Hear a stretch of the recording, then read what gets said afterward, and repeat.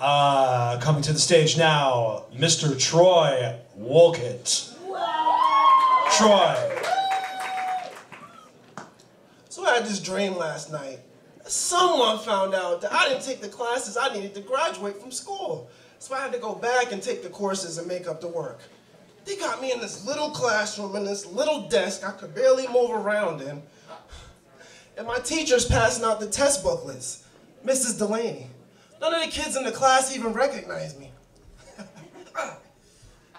Mrs. Delaney's my American Problems teachers. Thank you.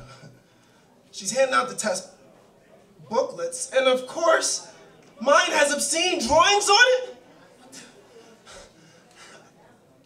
I don't know what to do. If I tell Mrs. Delaney, I might draw attention to myself. But if I don't say anything, she might definitely think I did it. They're in pencil. I'll just erase these penises, a breast. These stick figures are doing horrible things to each other. And the more I erase, another one pops up, and another one, and then that's the bell.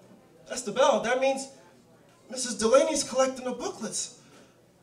I haven't even opened my booklet yet. I don't even know what this test is about. What's worse, these pictures are still on here. So I started ripping up the test booklet and tearing it in pieces, putting it in my mouth, and trying to swallow it before she came back. And then, ah! Hi, Mrs. Delaney. She said, Mr. Walcott, what have you done with your test booklet? Where is it?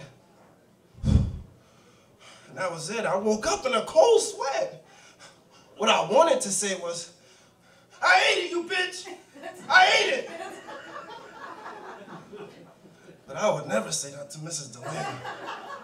Thank you.